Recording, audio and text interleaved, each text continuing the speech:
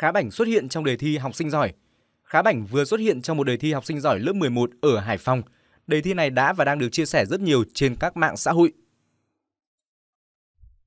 Theo đó, trong đề thi môn ngữ văn lớp 11 năm học 2018-2019 của trường Trung học phổ thông Kiến Thụy, Hải Phòng, trích một bài báo và có câu nêu về hiện tượng mạng khá bảnh với đời tư bất hảo vẫn được chào đón như thần tượng ở Yên Bái.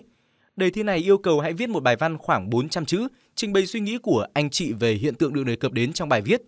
Sáng mùng 8 tháng 4, trao đổi với báo chí, ông Ngô Hồng Tân, hiệu trưởng trường Trung học phổ thông Kiến Thụy Hải Phòng xác nhận đó là đề thi của trường mình. Kỳ thi học sinh giỏi của trường đã diễn ra cách đây một tuần. Sở dĩ chúng tôi ra đề như vậy là muốn có đề thi mở để học sinh phát huy suy nghĩ về một vấn đề thời sự mà dư luận quan tâm nhiều trong thời gian qua, đặc biệt là thu hút sự chú ý của giới trẻ. Giáo viên ngữ văn Nguyễn Hà Hương Ly, người ra đề thi này, cho biết kỳ thi diễn ra cách đây một tuần, nhưng tôi đã chuẩn bị đề thi từ lâu và khi ra đề thi thì khá bảnh mới bị bắt. Cô Ly cho biết trong quá trình tìm hiểu những vấn đề để ra đề thi thì có hiện tượng khá bảnh nổi lên và khá gần gũi với học sinh, được giới trẻ quan tâm nên cô đưa vào đề thi. Cô Ly nói, sở dĩ đưa hiện tượng khá bảnh vào vì muốn từ một hiện tượng tiêu cực như vậy để học sinh có thể rút ra được hai vấn đề. Một là văn hóa thần tượng của giới trẻ hiện nay, hai là tâm lý muốn khẳng định bản thân nhưng một bộ phận còn lệch lạc, chưa biết cách để tìm ra giá trị đích thực của bản thân. Tôi muốn học sinh bàn luận và nói ra suy nghĩ. Cũng theo cô Ly, học sinh tham gia đề thi này tỏ ra khá hào hứng và làm bài khá tốt.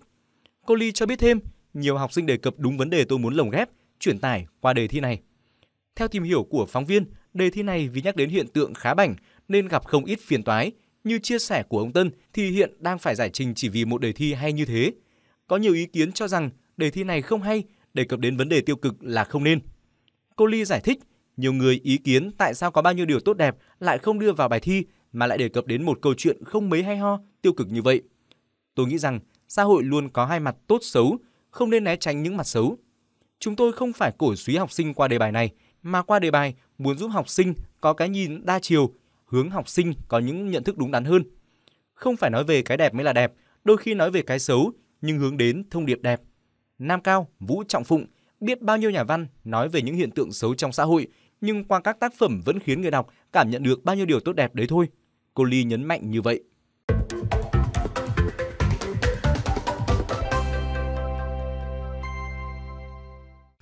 Thưa quý vị và các bạn, vào ngày 1 tháng 4 vừa qua, Công an thị xã Từ Sơn và Công an tỉnh Bắc Ninh đã bắt giữ Ngô Bá Khá và hai người bạn cùng sinh năm 1993 để điều tra hành vi sử dụng ma túy, tổ chức đánh bạc và liên ho- liên quan đến hoạt động tín dụng đen. Và trong chiều ngày 3 tháng 4, Công an Bắc Ninh chính thức ra quyết định khởi tố bắt tạm giam Khá Bảnh cùng 4 đối tượng về hành vi đánh bạc và tổ chức đánh bạc. Nhìn lại cả thời gian dài qua dù được biết với đời tư bất hảo và nhiều tai tiếng, nhưng Ngô Bá Khá với biệt danh là Khá Bảnh lại có một lượng fan hâm mộ rất hùng hậu. Khá Bảnh nổi tiếng trên mạng xã hội với những video đạo nghĩa giang hồ, tình anh em và điệu nhảy múa quạt, còn được dân mạng gọi với tên là Vinahey. Kênh YouTube của nhân vật này có gần 2 triệu người theo dõi. Facebook cá nhân của Khá Bảnh thì có hơn 600.000 người theo dõi. Vâng, vùng cùng với cái tên khá bành thì giới trẻ còn đang theo dõi các nhân vật băng đảng khác mà bắt trước các điệu bộ, cử chỉ, lời nói, coi là thần tượng bằng việc chụp hình chung và chào đón tung hô ở ngoài đời thực, thậm chí là biểu diễn các hành động của thần tượng tại các sự kiện chính thức trong trường học. À, câu hỏi vì sao các nhân vật này lại trở thành thần tượng của giới trẻ? Ai, điều gì trở thành mối lo ngại khi tình trạng loạn chuẩn văn hóa đang diễn ra ở khắp mọi nơi trong xã hội từ những vụ việc như thế này? Mục tiêu điểm hôm nay chúng ta cùng giải mã hiện tượng loạn chuẩn văn hóa qua phần trình bày của biên tập viên Ai Kiều. Trước khi bị bắt, Khá Bảnh đăng nhiều những đoạn băng ghi hình có lời lẽ tục tĩu giang hồ trên mạng xã hội YouTube với gần 2 triệu người đăng ký theo dõi. Ngày 26 tháng 3, do đốt xe máy rồi quay hình đăng lên mạng xã hội, Khá Bảnh bị phòng cảnh sát hình sự tỉnh Bắc Ninh lập biên bản xong chưa xử lý. Bánh đập xong bánh bánh đốt luôn con này mọi người ạ. Trước đó, ngày 21 tháng 3, Khá Bảnh bị Cục Cảnh sát Giao thông phạt vi phạm hành chính 5 triệu 500 nghìn đồng và bị tước bằng lái trong 2 tháng về hành vi dàn hàng ngang cùng một số thanh niên để chụp ảnh trên cao tốc Hà Nội-Hải Phòng. Mặc dù có nhiều hành vi ảnh hưởng tiêu cực đến giới trẻ như vậy, nhưng Khá Bảnh vẫn được tung hô chào đón như thần tượng ngoài đời thực. Một câu hỏi khiến nhiều người băn khoăn đó là tại sao một người có quan niệm lối sống hoàn toàn trái ngược với những chuẩn mực đạo đức như Khá Bảnh lại được giới trẻ tung hô như vậy. Sau đây là góc nhìn của một số bạn trẻ về hiện tượng này. Về việc mà khá bảnh được nhiều người theo dõi thì mình nghĩ là bây giờ Facebook nó phổ biến rồi khi mà đăng lên thì nhiều người thấy nó hay, nó xàm xí rồi có thể là nó thu hút được nhiều lượt theo dõi thì người ta chia sẻ Em thấy ờ, uh, khá bảnh uh, đem lại cái sự giải trí cho mọi người ạ. À. Thì người xem cũng kiểu hứng thú. Em nghĩ là do giới trẻ kiểu như là hiếu kỳ, thích tò mò ấy à. Thích uh, kiểu xem mấy cái uh, mà nó kiểu trend. Giới trẻ cũng kiểu nhìn theo đấy uh, kiểu nghĩ mình uh, tính cách các thứ cũng uh, hợp với khá bảnh uh, kiểu đú theo ấy à. Em nghĩ là nó kiểu giống bất cứ một cái hiện tượng nào khác kiểu như là lệ rơi hoặc là những cái gì nổi lên trên mạng xã hội thôi chứ nó cũng nó chỉ là một cái trend mà mọi người hùa vào để thích thôi chứ cũng chả phải là à, thần tượng hay cái gì cả có thực khá bảnh chỉ đơn giản là một trend mới, tức là hiện tượng nhanh nổi tiếng, nhanh chìm lắng như lời của các em học sinh vừa nêu hay không. Trước hết, Khá Bảnh được yêu thích bởi hình mẫu sống không theo khuôn phép nào. Những việc làm của Khá Bảnh mang tính ngẫu hứng, đặc biệt là ý muốn thể hiện bản thân nổi lên rất rõ. Đối với tuổi mới lớn, tuổi khát khao được thể hiện mình qua những biểu hiện bên ngoài như hút thuốc, đánh nhau, thích làm những hành động ngông cuồng để người khác khen là anh hùng, thì nhân vật như Khá Bảnh nổi lên như một thần tượng vì dám làm tất cả những điều kể trên. Tuy vậy, chuyên gia truyền thông Nguyễn Ngọc Long cho rằng việc theo dõi, học theo nhân vật này sẽ làm các bạn trẻ loạn chuẩn về văn hóa, đạo đức.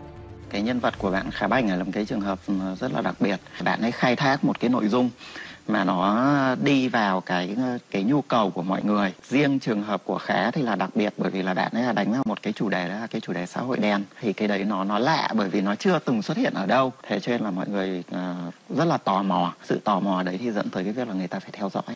À, có nhiều người thì nói rằng là à, cứ kệ đi bởi vì là các bạn trẻ sẽ à, nhanh thích rồi nhanh quên. À, nhưng mà tôi không nghĩ như thế. À, bởi vì là à, khi mà các bạn trẻ cái nhận thức rồi là cái cái sự tự chủ của các bạn chưa lớn ấy thì các bạn rất là dễ học theo à, những cái thói hư tật xấu những cái mà chúng ta gọi là lệch chuẩn. À, và cái việc lệch chuẩn đấy nó sẽ làm cho cuộc sống này trở nên hỗn loạn. Cùng với cái tên khá bảnh các bạn trẻ bây giờ còn có những thần tượng khác như Dũng Chọc, Hiệp Đen, Phú Lê, Quang Rambo, Huấn Hoa Hồng, Dương Minh Tuyền, Bình Chọc, vân vân. Khi có một khá bảnh trong xã hội thì đó là hiện tượng, nhưng khi có quá nhiều hiện tượng như thế thì đó là xu hướng. Xu hướng đám đông hâm mộ các anh giang hồ sống ảo. Xã hội tưởng chừng rất đa dạng nhưng lại thiếu hình mẫu. Nếu để kể tên một vài tấm gương sáng cho các bạn trẻ noi theo, thực sự được các em yêu quý, xem chừng không dễ dàng, bởi sự thiếu cân bằng giữa cái chưa đẹp và cái đẹp nên xã hội dần méo mó về thẩm mỹ, xã hội dần loạn chuẩn về văn hóa, dù văn hóa là thứ tưởng chừng như ai cũng biết và ai cũng hiểu. Làm cách nào để hiểu giới trẻ và đồng hành với họ, để có sự hướng dẫn, chỉ lối? Làm sao để các bạn trẻ nhận thức được trào lưu nào là tốt hay xấu, điều gì cần ủng hộ và điều gì cần ngăn chặn? Đây chính là vấn đề thách thức với ngành giáo dục, truyền thông và các bậc phụ huynh. Phó giáo sư tiến sĩ Nguyễn Hoàng Ánh, giảng viên trường Đại học Ngoại thương Hà Nội kiến nghị giải pháp chúng ta phải thấy rằng bản năng con người là có cái nhu cầu. Người ta thích thứ nhất là những gì khác lạ. Do là chúng ta hàng ngày chúng ta cứ bắt trẻ con là không được nhìn thấy những thứ như thế. Trong khi nó nhan nhản xung quanh cuộc sống của chúng ta.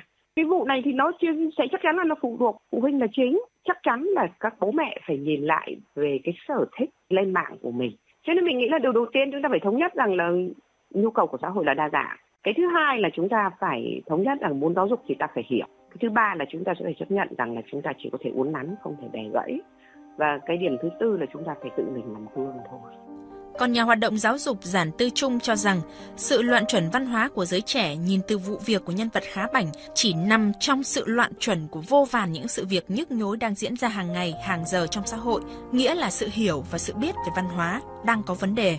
Ông Giản Tư Trung định nghĩa Văn hóa ở đây là nhân tính, quốc tính và cá tính sẽ giúp một người nhận định đúng sai, phải trái, chân giả, thiện ác, chính tà, hình thành năng lượng ngăn ta làm những điều trái, thôi thúc ta làm điều hay lẽ phải.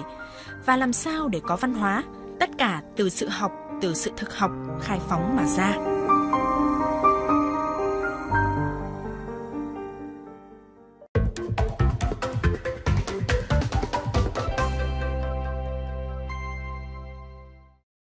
Không thể chấp nhận những trường hợp như khá bảnh. Thưa quý vị, tại buổi họp báo chính phủ chiều 2 tháng 4, báo chí đặt ra câu hỏi về trường hợp khá bảnh đối với Bộ Công an, Bộ Thông tin và Truyền thông và cả quan điểm của Bộ trưởng, chủ nhiệm văn phòng chính phủ Mai Tiến Dũng. Bộ trưởng Mai Tiến Dũng cho rằng những hành vi như của Khá Bảnh cứ diễn đi diễn lại như thế thì thế hệ trẻ mới lớn tiếp xúc sẽ rất nguy hiểm. Đây là vấn đề cực kỳ không tốt trên mạng xã hội. Hôm nay họp chính phủ, Thủ tướng rất gắt gao việc này liên quan đến quản lý nhà nước của Bộ Thông tin và Truyền thông. Rất mừng là đã tiến hành khởi tố, điều tra để phá vụ án Khá Bảnh. Những trường hợp như Khá Bảnh không thể chấp nhận được, Bộ trưởng Dũng nói. Thứ trưởng Bộ Công an Bùi Văn Nam cho hay, Công an tỉnh Bắc Ninh đã bắt và khởi tố Ngô Bá Khá, tức Khá Bảnh về tội đánh bạc và bảo kê. Quá trình Khá Bảnh có các hoạt động trên mạng xã hội, các đồng chí trên Bộ Thông tin và Truyền thông đã có câu trả lời. Nhưng chúng tôi cho rằng đây là hiện tượng cần được cơ quan chức năng phối hợp ngăn chặn. Việc Công an Bắc Ninh tiến hành khởi tố, bắt tạm giam, tiến hành khám xét được tiến hành rất cương quyết khi xử lý đối với Khá Bảnh, Thứ trưởng Nam nói. Liên quan đến trách nhiệm của Bộ Thông tin và Truyền thông trong quản lý mạng xã hội, Thứ trưởng Hoàng Vĩnh Bảo cho hay, mạng xã hội bây giờ diễn biến rất phức tạp, trong đó có mạng xã hội trong nước và nước ngoài. Chủ yếu những nội dung phức tạp và khó kiểm soát là mạng xã hội nước ngoài, cung cấp dịch vụ xuyên biên giới vào Việt Nam. Trách nhiệm của Bộ, một mặt chúng tôi đang tích cực làm việc đấu tranh với Facebook và Google để giảm thiểu những cái đó, mặt khác đang trả soát xây dựng, điều chỉnh một số văn bản quy phạm pháp luật. Thứ trưởng Bảo cho hay. Cuối cùng, ông cũng cho biết Bộ Thông tin và Truyền thông cũng đang xây dựng một bộ quy tắc ứng xử của mọi người trên mạng xã hội, quy tắc khung, sau đó các bộ ngành tùy thuộc điều kiện để có các quy định cụ thể, trách nhiệm của gia đình, xã hội, nhà trường với vấn đề giáo dục con cái, tham gia mạng xã hội thế nào. Cái gì tích cực thì nói, không tích cực, không bình đẳng thì phải lên án cái đó. Thứ trưởng Bộ Công an lý giải việc bắt giữ khá bảnh. Chiều mùng 2 tháng 4, tại cuộc họp báo chính phủ thường kỳ, phóng viên đã đặt câu hỏi về hiện tượng khá bảnh, tức Ngô Bá Khá, có tiền án tiền sự, công an đã nắm rõ và đối tượng thường xuyên đăng tải các clip phản cảm, tục tĩu lên mạng xã hội. Tuy nhiên, tại sao bây giờ lực lượng chức năng mới xử lý? Trả lời câu hỏi này, Thượng tướng Bùi Văn Nam, Thứ trưởng Bộ Công an cho biết, ngày 1 tháng 4, Công an tỉnh Bắc Ninh đã tiến hành bắt giữ đối với Ngô Bá Khá, tức Khá Bảnh, về tội đánh bạc và tổ chức đánh bạc. Thứ trưởng Bộ Công an khẳng định lực lượng công an đã nắm chắc về các hoạt động của trường hợp này và tiến hành các biện pháp về mặt pháp luật. Về quá trình khá bảnh có nhiều hoạt động gây bức xúc trên mạng xã hội, Thượng tướng Bùi Văn Nam nêu rõ, đây là việc làm hiện tượng cần phải phối hợp ngăn chặn kịp thời. Thứ trưởng Bộ Công an nhấn mạnh, việc ngày 1 tháng 4, Công an tỉnh Bắc Ninh tiến hành bắt tạm giữ, tiến hành khám xét, thể hiện hết sức cương quyết đối với khá bảnh. Trả lời thêm về vấn đề này, Bộ trưởng, chủ nhiệm Văn phòng Chính phủ Mai Tiến Dũng nói, việc giới trẻ tiếp xúc với những vấn đề như khá bảnh trên mạng xã hội rất nguy hiểm và cực kỳ không tốt. Ông nói, trong phiên họp chính phủ ngày hôm qua, Thủ tướng rất gắt gao vấn đề này và cho rằng liên quan đến công tác quản lý nhà nước của Bộ Thông tin Truyền thông về quản lý mã độc, thông tin không đúng sự thật, Bộ trưởng Dũng nhấn mạnh, hôm nay rất mừng Bộ Công an đã điều tra vụ án khá bảnh. Chúng ta thấy rằng những trường hợp như thế này không thể chấp nhận được. Một xã hội lành mạnh như thế này không thể chấp nhận hành vi đó. Về trách nhiệm của Bộ Thông tin Truyền thông liên quan đến việc xuất hiện nhiều clip thông tin xấu của khá bảnh trên mạng xã hội, Thứ trưởng Bộ Thông tin Truyền thông Hoàng Vĩnh Bảo cho hay hiện Bộ đang phối hợp với các doanh nghiệp như Facebook, Google để giảm thiểu những thông tin này, đồng thời đang tiếp tục điều chỉnh các văn bản pháp luật liên quan đến vấn đề này. Trên cơ sở đó, tạo sự công bằng giữa doanh nghiệp trong nước và ngoài nước trong việc cung cấp mạng xã hội. Mục đích chính phải quản lý được các doanh nghiệp nước ngoài cung cấp dịch vụ mạng xã hội ở Việt Nam, trong đó tuân thủ các quy định pháp luật, thực hiện nghĩa vụ tài chính, vân vân. Bên cạnh đó, Bộ đang xây dựng bộ quy tắc ứng xử của mọi người trên mạng xã hội. Ông Bảo nêu thêm trách nhiệm của gia đình, xã hội, nhà trường trong việc giáo dục con cái tham gia mạng xã hội như thế nào. Báo chí cần nói rõ tác dụng của mạng xã hội và lên án, phê phán những hành vi vi phạm trên đây.